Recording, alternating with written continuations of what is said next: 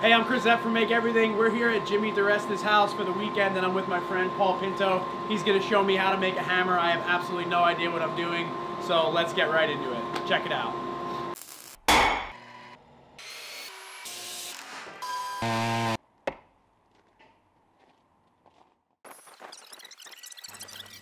All right, so I basically have no idea what I'm doing throughout the process of this. Um, Paul walked me through it, and this video I'm going to sort of let it explain for itself as it goes and just kind of give a little bit of background as we get through it. We did it. This place is like booby trap. It's Jimmy Trap. So we cut off a piece of 1045 bar stock, and then we're going to be using the coal forge for this. Um, it's forced air forged, and we're going to be using the Coal Iron Works 25 ton hydraulic press to just square up that round billet and uh, go from the two and a half inch round into about a two and a quarter by two and a quarter square. And that'll just make the process of drifting it a little bit easier. We're now uh, pressing it from the other side, which just sort of upsets it a little bit and makes it a little more symmetrical.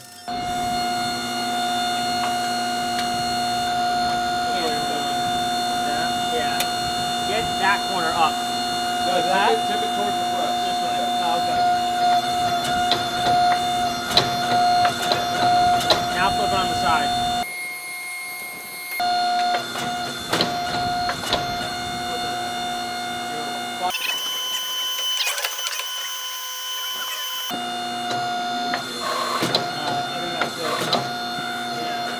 No, these Hit, are. hit, it, hit it from that side again. What's that? Yeah, right there. One more time. See, I have a, oh, I have a hard time like spinning it. you Yeah. know?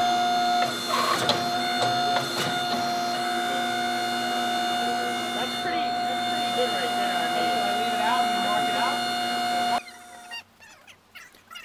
So once we had gotten it nice and squared up and evened out, I used a pair of dividing calipers to just find the center of the billet on both sides so that I could center punch that and make sure that when we drift it, it's in the right spot.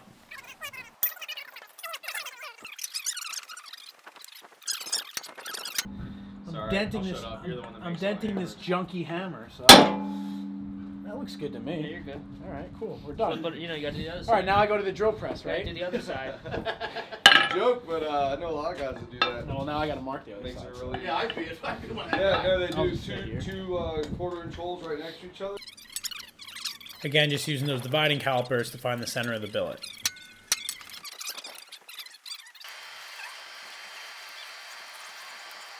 So, I'm just holding that punch, yeah? yeah. But you, Which center? Where am I going over? Which one? There's no steel out here. Go over, the, not over the hole. Right there. Okay. Yeah, yeah, there's yeah. your spot. Oh, yeah, yeah, that's better than Let it something. It's better than something. Hold it straight, Chris.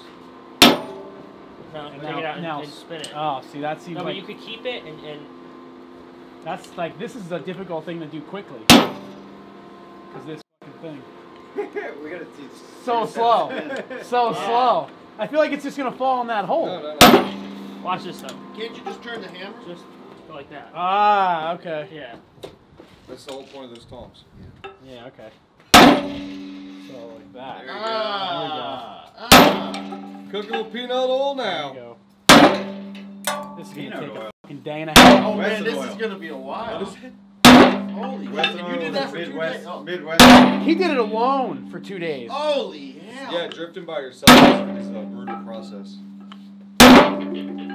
I'll show you the drift. I mean, at what point do we? Hit Uh, it. It's not a drift. That's kind of a cool resonating. It's kind of cool. Well, you're getting it now, man. I take one heat. yeah. Yeah. You get Throw close. it back in. Next one. You get that thing yellow. I missed it. I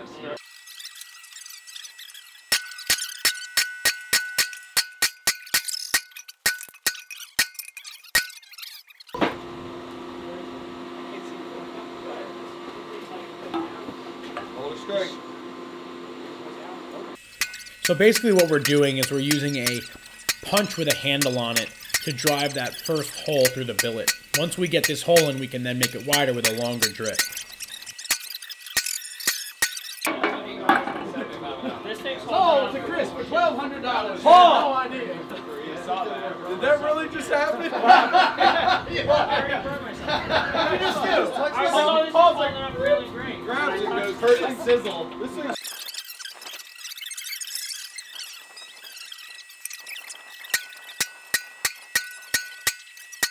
Got a sticker that says. It almost out? Almost. Yeah. Got enough heat in it to do it? It's almost sometimes when it gets a little Make it it brittle. almost shears more Yeah. instead of just bending. We'll see. Maybe we'll have to. Oh shoot. It actually works great for a hand warmer. Yeah.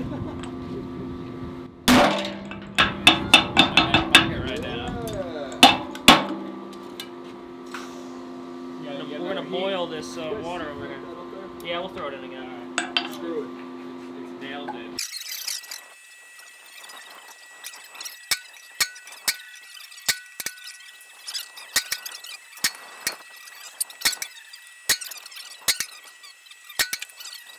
Oh, you gotta be kidding me. No way. Jimmy knows it, I swear. He's gonna do the, I'll do it, I'll get it down a little with the one flat It's, Pull it's that off. out. That thing's probably shot. This is. The tip of that thing. Yeah, that thing's probably messed up. We'll, gr- we'll regrind it. No, we're good. It's Is it good? Really? dude. Solve the problem. It's out. Oh, nice. Now where? Oh, there it is. You gotta There keep that plug. That's your first. It's my first plug. All right. All right. There we go. That's a nice one. That's a nice hole. There you go. Still waiting for Cliff to sort out his. Cliff Ironworks. Let's start with a square. Square. What am I doing? I'm just You hitting. need, you don't need these stones. Don't need them. Yeah. Just hitting. Yeah, it's a lot easier not start with super tall and Skinny. with uh, the cold. Just keep hitting it. Yeah. honestly.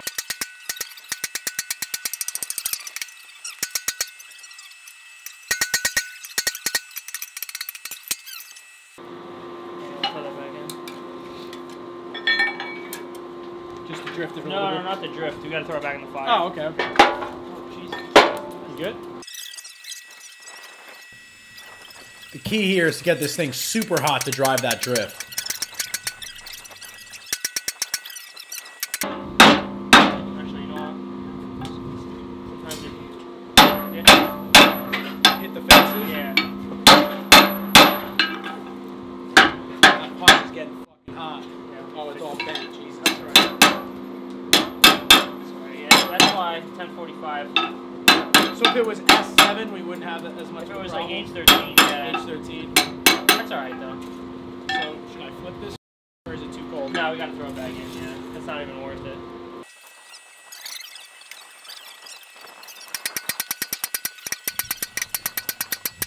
This process went on for a while, basically just trying to lodge that long tapered drift through the billet in order to make the hammer eye hole a good enough size that my handle wouldn't be tiny.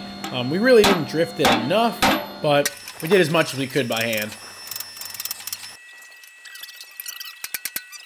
And I'm hitting here or Do over, here? a, over a hole. Do it on the flat spot. But I'm hitting here. Yeah, yeah. Don't do it over a hole. Yeah, and do it on this right here, because you don't want to hit down there because it'll close up Yeah.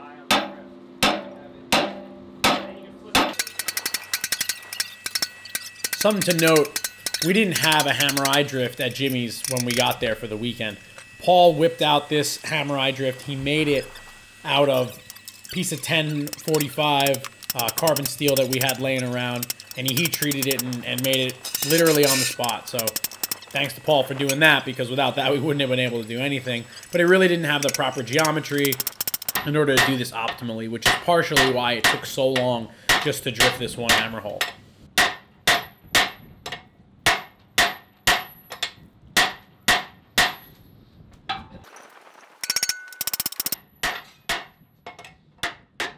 So once I'd established that shape, we wanted to make a Swedish cross peen.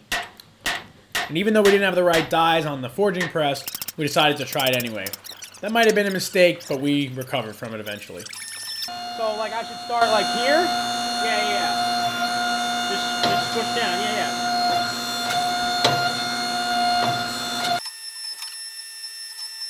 Am I going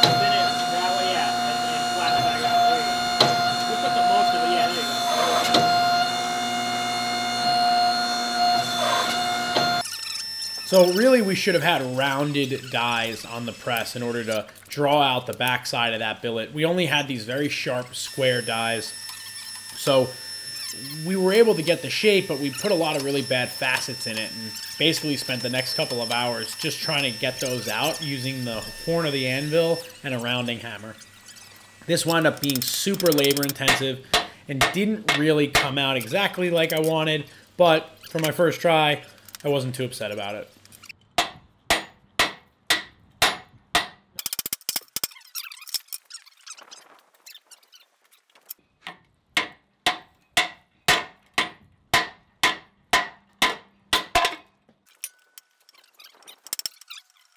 Get it up on an angle.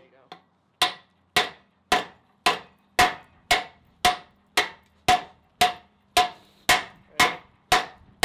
Let's go over here now. Hold on. So now you don't want to screw up that nice curve.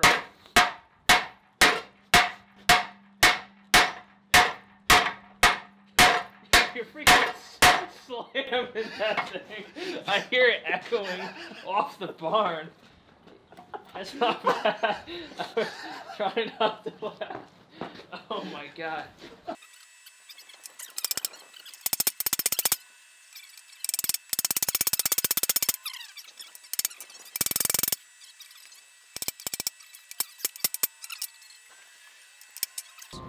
Maybe I could heat it up, get it in the vise, and just knock it over. No, like oh, you know what? like- If- no, clamp this in the vise.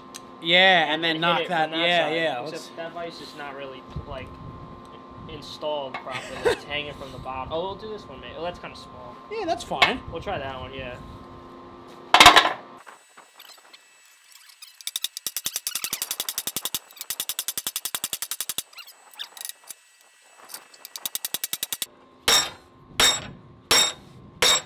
Feel like I can just planish out the sides Yeah. and like be done with it.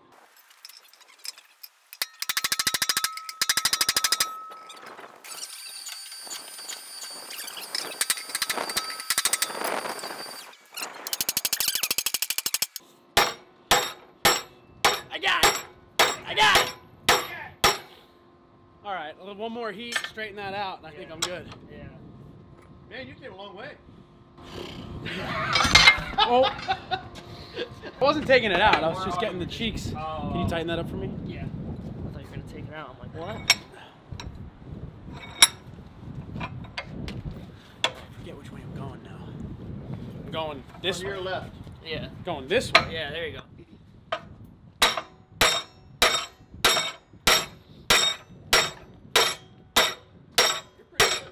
Yeah, that's honestly it's not that bad. No, I can live with that. All right. Just want to chase it a little bit.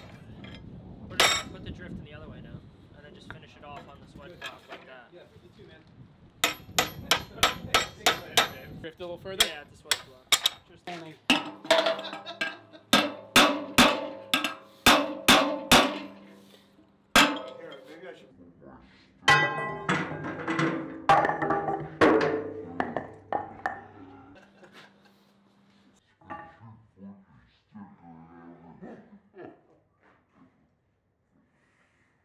So the next day, I clamped the hammerhead in the vise and used the grinder to cut off the end of that peen, which had gotten out too long. I had drawn it out too far.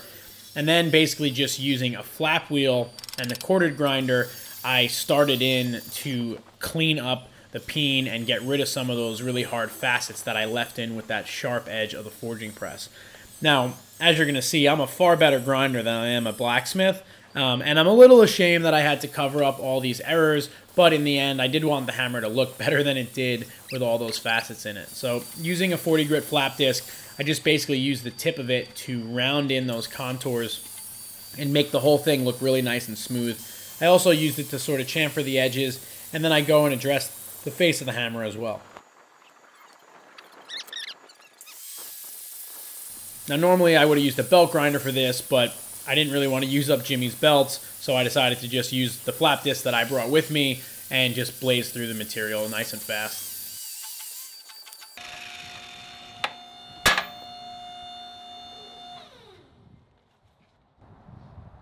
Getting there. We're getting there. Once I had addressed the backside of the peen, I just addressed the front right behind the face and just sort of rounded that stuff out too. Again, getting rid of some of those facets that were left from the forging press and those sharp dies. Now the press worked really, really well. And like I said, I just want to repeat, it was the dies, not the press, that made me this hard time. But after I was done grinding it, I put it back in the fire, let it get red hot, and then let it cool down slowly to anneal it and get it soft and sort of settle those molecules inside the steel. Now, back at my shop, I used my small press to get the hammerhead hot enough that I could stamp a maker's mark into it. And now on my knives, I just use a simple Z uh, for my last name, Zeppieri. And I figured on this one, I would kind of carry that theme forward. I let the hammer get red hot, and I'm going to go ahead and put that hammer eye drift that Paul gave me into it, and then use one of the letter punches to stamp my initial in that top side of the hammer. Once that was done, it went back in the forge, and I heated it up to a critical temperature, um, non-magnetic, and then quench it in water in order to get it really, really hard. Now, the heat treating of a hammer is similar to the heat treating of a knife. You get it up to a critical temperature and you quench it, and then the object becomes extremely hard but also brittle, and it needs to be tempered back. So in this case, uh, Zach from ZH Fab gave me the temperature in order to temper it back with. As you see, when it comes out of the water, it's so hard the file skates right across it. Then it's going to go in my oven at 425 degrees for two hours, two times and that'll temper it back to make it soft enough that it won't break, but hard enough that it'll strike metal really well. Once it's out of the oven, I take it over to the wire wheel, and I just wire wheel off some of the scale that came from that heat treating process. Um, a little bit of scale builds up from that intense heat, and it just sort of polishes it, makes it a little bit shiny. And um, I'm going to be using ash for the handle. I have some straight grain ash that I really like to use for axe handles. It's incredibly strong. Ash makes a really good tool handle if you're ever handling an axe or a hammer and you can get your hands on some ash. It's kind of a pain to work with because it is so hard, but it's going to last a really, really long time. So I basically just rip it down uh, in two directions and get myself a nice little hammer blank. And then I'm going to go ahead and put a 45 degree bevel on all four of the sides. Um, I prefer a pretty geometric handle I know it's probably going to look like I'm just being lazy, but I actually do really like a geometric handle versus an oval handle when I'm uh, using any sort of hammer for blacksmithing, mainly because I like to choke up on the hammer and I don't like the, the diameter of the handle to change depending on where my hand is on the handle. So once I have that 45, I do round the edges just a little bit on the sander, and then I can take it over to the vise and I can start using the draw knife to get that hammer eye uh, cut down so that it'll fit inside the actual hammerhead itself.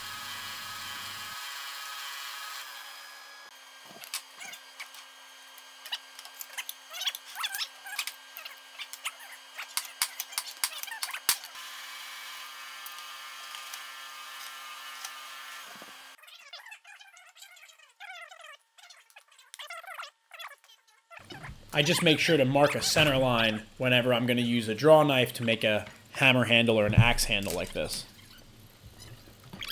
Now when we drifted out that hammerhead, we unfortunately didn't really drift it far enough. The hole in the in the hammerhead itself, the eye, it's really not big enough for the size hammerhead. I'm not sure how this is going to hold up, but you'll see I really have to taper down that material in order to get the hammerhead on it. Um, I think it'll be alright, but might fail, who knows. So now I'm just cutting the relief cut and getting that hammerhead really nice and set onto the handle. What I forgot to film was putting in the wedge. I used a solid mahogany wedge and some glue to really make sure that that handle split, spread apart inside the hammer eye and made a really, really great seal. It's not loose at all. It has absolutely no wobble. And once that was done, I took it back over to the sander with a slack belt and just sort of continued to round over the profile and then I decided to use this 80 grit belt and tune up the faces. There was a pretty bad divot in the center of the face that I left with the grinder when I was up at Jimmy's. So using this slack belt gave me a nice sort of rounded face that's also pretty much flat. Um, and then once that was done, I went over to the other 2x72 grinder and used the Scotch-Brite to sort of polish up the peen and polish up that flat face. I also thought the handle was a little bit too long, so I cut that down and just gave it some final sanding to get it to the length and the feel that I was looking for.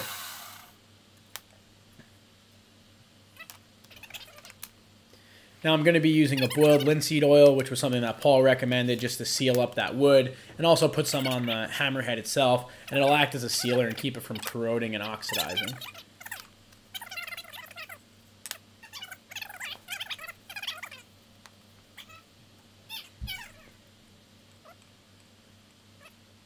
Overall, I'm really, really happy with how this thing came out.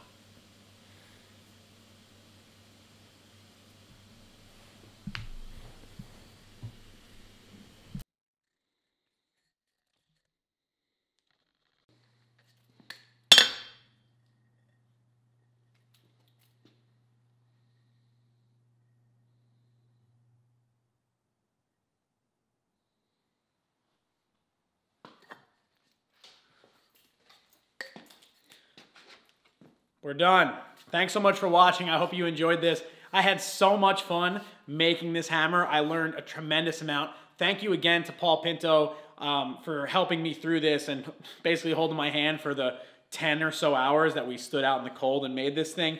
Check out his YouTube and his Instagram. He's an incredible 18 year old blacksmith, a great teacher, super talented guy. Thanks so much to Jimmy, Taylor, and Brett for accommodating me and the rest of the guys over the weekend. We had an amazing time blacksmithing. And thanks to all the guys that helped out during this.